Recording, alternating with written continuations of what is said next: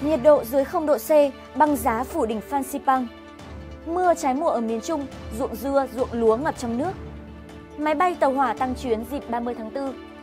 VCCI kiến nghị bỏ quy định lắp camera trên ô tô gây tốn kém hàng ngàn tỷ cho doanh nghiệp. Bình Dương sắp có thêm hai thành phố. Công an truy tìm người phát tán clip nam sinh trường chuyên Hà Nội rơi chung cư tử vong.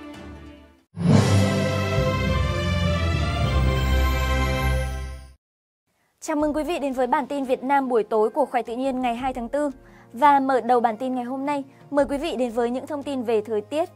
Thưa quý vị, nhiệt độ dưới 0 độ C băng giá phủ đỉnh Phan Xipang. Sáng nay ngày 2 tháng 4, trên đỉnh Phan Xipang, thị xã Sapa, Lào Cai, nhiệt độ xuống dưới 0 độ C, băng giá đã xuất hiện phủ trắng cây cối tạo thành khung cảnh đẹp mắt. Nguyên nhân là do ảnh hưởng của đợt không khí lạnh và mạnh tràn xuống miền Bắc từ đêm ngày 31 tháng 3 gây mưa và nhiệt độ giảm sâu. Sáng sớm hôm nay, cơ quan khí tượng đã ghi nhận các tỉnh miền Bắc đều dưới 18 độ C. Ở các vùng núi cao như Mẫu Sơn, Lạng Sơn và Sapa, Lào Cai, nhiệt độ xuống còn 6 độ C, còn ở Pha Đin, Sơn La là khoảng 8 độ C. Băng giá xuất hiện đúng dịp tổ chức lễ hội đền Mẫu Thượng Sapa và Carnival đường phố từ ngày 1 đến ngày 3 tháng 4, đi kèm với nhiều hoạt động hấp dẫn như diễu hành rước kiệu, lễ tế dân gian, trưng bày ẩm thực và nông sản. Băng giá xuất hiện vào tháng 4 được đánh giá đây là trường hợp hiếm gặp. Theo cơ quan dự báo khí tượng thủy văn quốc gia, trong những ngày tới, không khí lạnh sẽ yếu dần, miền Bắc trời khô ráo, chưa hửng nắng. Đây sẽ là đợt không khí lạnh mạnh cuối cùng của mùa đông xuân 2021-2022. Mưa trái mùa ở miền Trung, ruộng dưa và ruộng lúa ngập trong nước. Theo thống kê của tỉnh Quảng Ngãi, từ ngày 30 tháng 3 đến ngày 1 tháng 4, mưa lớn trái mùa đã khiến nhiều diện tích nông nghiệp bị ngập úng hư hại. Trong đó phải kể đến vụ lúa đông xuân năm 2021-2022 bị thiệt hại tới 4.500 ha, 2 phần 3 trong số này bị ngập úng và phần còn lại bị đổ ngã.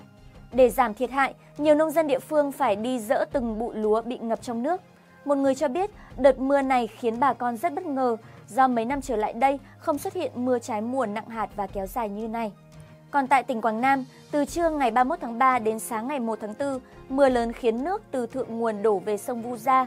Theo đó, hàng chục hecta hoa màu của người dân trồng dọc hai bên bờ sông bị ngập úng.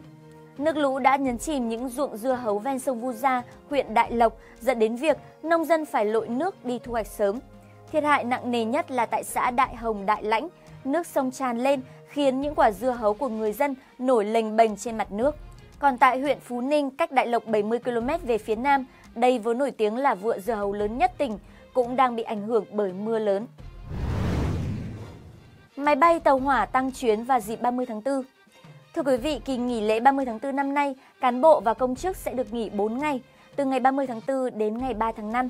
Trong bối cảnh dịch Covid-19 tạm lắng, nhiều chuyến bay đến điểm du lịch đã gần như kín chỗ, giá vé tăng gấp 2 lần so với ngày thường. Các hãng hàng không nội địa đang ghi nhận lượng du khách tăng cao.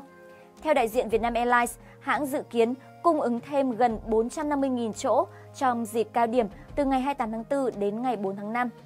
Hãng sẽ tập trung tăng chuyến tại các đường bay nội địa giữa Hà Nội và Thành phố Hồ Chí Minh với những địa điểm du lịch nổi tiếng như Quy Nhơn và Côn Đảo.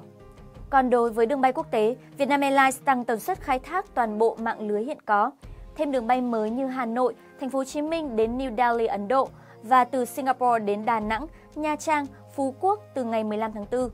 Bamboo Airways cũng dự kiến nâng tần suất bay tối đa trên các đường bay trọng điểm xuất phát từ Hà Nội.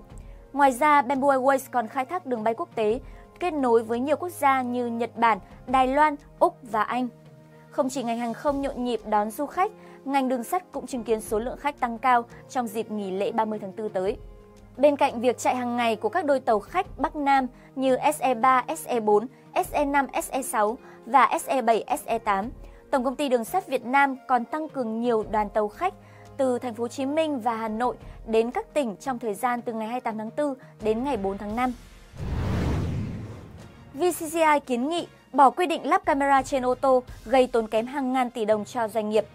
Trong một báo cáo được công bố mới đây, Liên đoàn Thương mại và Công nghiệp Việt Nam VCCI đã nêu ra những tốn kém điển hình mà doanh nghiệp đang phải gánh chịu để tuân thủ lắp camera theo Nghị định số 10 năm 2020. Theo đó, nếu cả nước có 200.000 xe khách, ô tô, đầu kéo và container thì chi phí ước tính sẽ lên đến 1.160 tỷ đồng.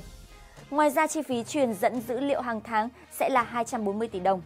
Đây là kết quả khảo sát của VCCI được thực hiện với 100 công ty kinh doanh vận tải hành khách từ 9 chỗ trở lên trên cả nước.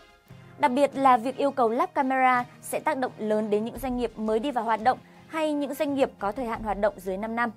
VCCI cho hay camera cũng có thể giám sát và làm bằng chứng để xử lý các vi phạm của hành khách trên xe. Tuy nhiên, chưa có số liệu thống kê đầy đủ nào về các hành vi vi phạm trên ô tô là nguy cơ cao để nhà nước buộc phải thực hiện giám sát như vậy. Theo Nghị định số 10, ô tô có sức chứa từ 9 chỗ trở lên, ô tô kinh doanh vận tải hàng hóa bằng container, xe đầu kéo phải lắp camera từ ngày 1 tháng 7, 2021. Bình Dương sắp có thêm hai thành phố.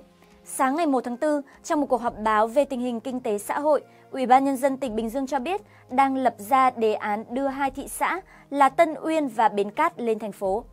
Nếu kế hoạch này được phê duyệt, Bình Dương sẽ vượt Quảng Ninh để trở thành địa phương có nhiều thành phố nhất cả nước với tổng cộng 5 thành phố trực thuộc.